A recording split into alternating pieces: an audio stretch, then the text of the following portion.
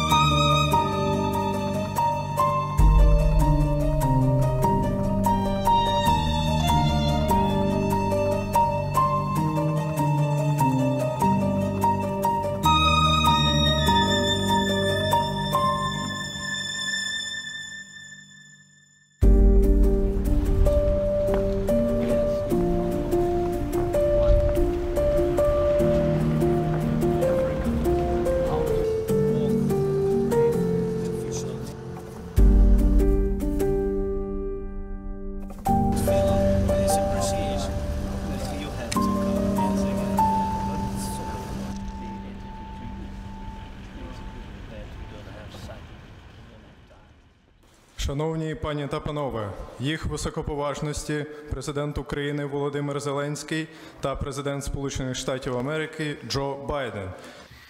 Дуже дякую. Шановний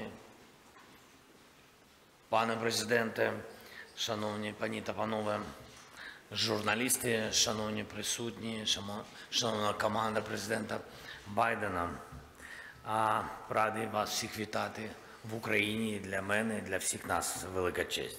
Щойно ми провели переговори з паном президентом Сполучених Штатів Америки в форматі тет-а-тет, а потім в розширеному форматі. Це була розмова, яка дійсно наближає нашу спільну перемогу в цій війні. Ми можемо і маємо зробити так, щоб цей саме цей рік, 23-й, став роком перемоги. Я хочу підкреслити, ця неспровокована і злочинна російська війна проти України, всієї Європи та демократичного світу має завершитись очищенням всієї української землі від окупації Росії та твердими гарантіями довготривалої безпеки, як нашої держави, так і усієї Європи і всього світу. Саме зараз і саме в Україні вирішується доля міжнародного порядку, заснованого на правилах The Rules-Based World Order. І ми разом з паном президентом Байденом, е, з нашими союзниками, з нашими союзними партнерами маємо і надалі робити абсолютно все, все можливе, щоб демократичний світ виграв у цій історичній битві.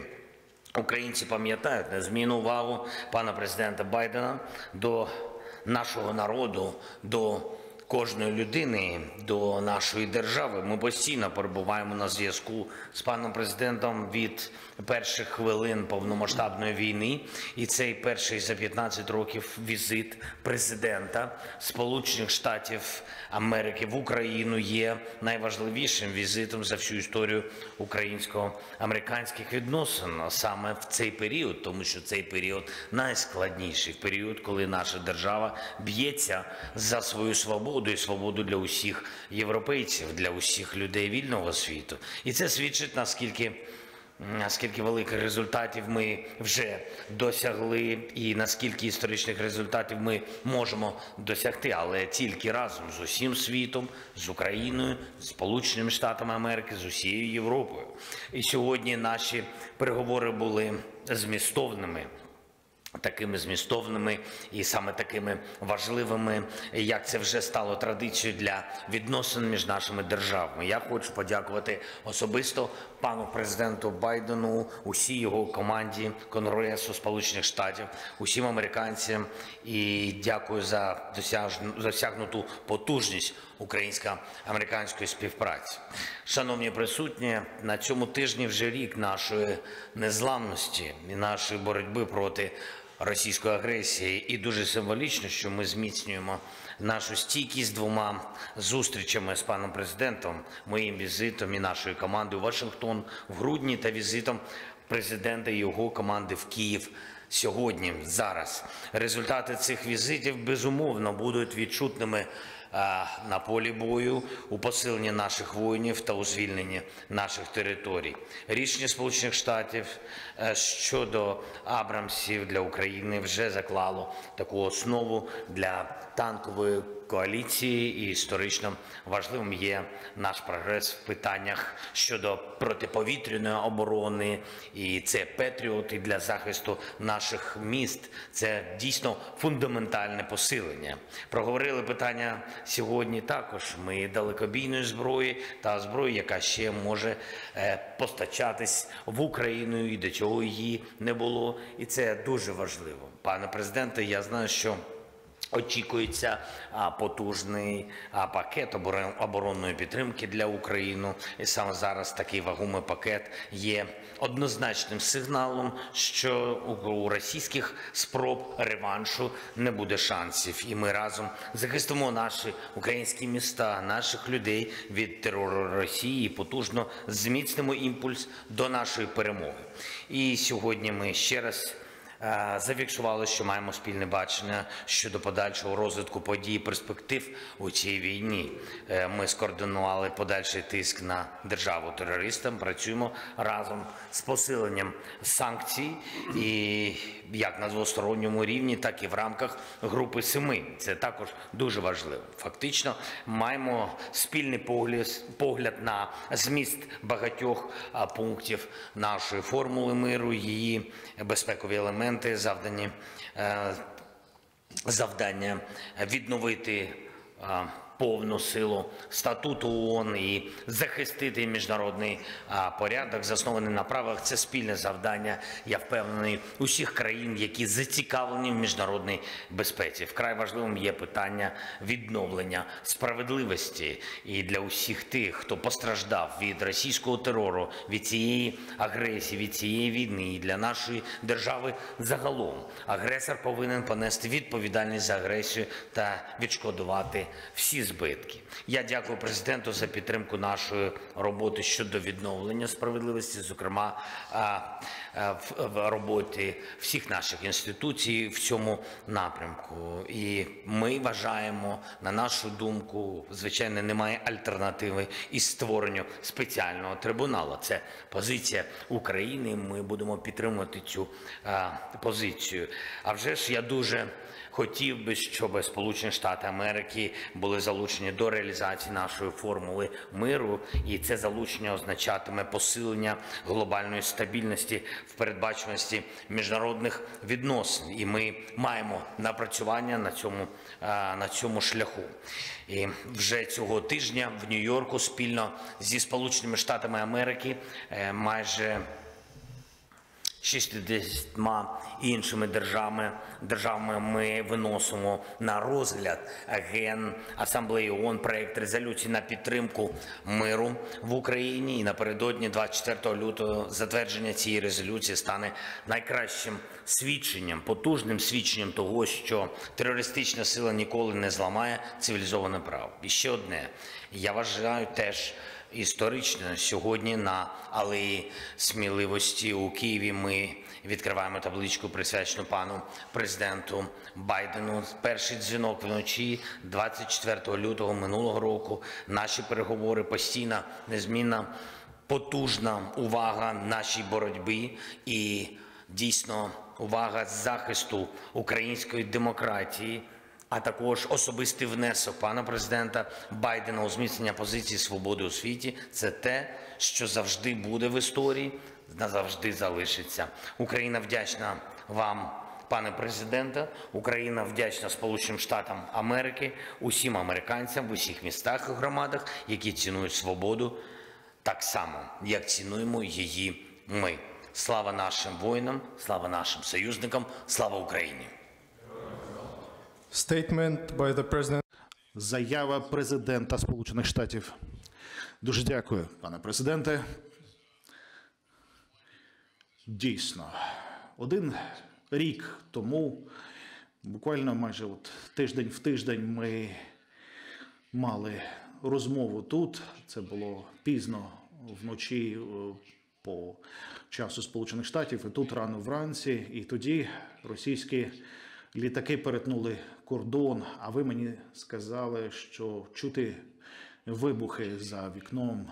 Я тоді не міг це повірити, що світ зміниться. Я тоді запитав у вас. Запитав, то що відбувається? Що я можу для вас зробити? Як я можу вам допомогти? Я не пам'ятаю дослівно, що ви сказали, але ви тоді сказали зібрати лідерів усього світу і попросити їх підтримати Україну. Зберіть лідерів усього світу і попросіть їх по допомогу Україні. Ви тоді казали, що ви не знаєте, коли і чи зможемо ми ще поговорити. От в ту темну ніч, один рік тому, світ тоді готувався до можливого падіння Києва, наче й неочікувано, що це трапилося рік тому. Але тоді говорили про те, що можливо Україні скоро не стане кінець, але минув рік. А Київ стоїть, і Україна стоїть, і демократія стоїть непорушно, і Америка стоїть з вами, і весь світ вам допомагає. Київ увійшов до мого серця.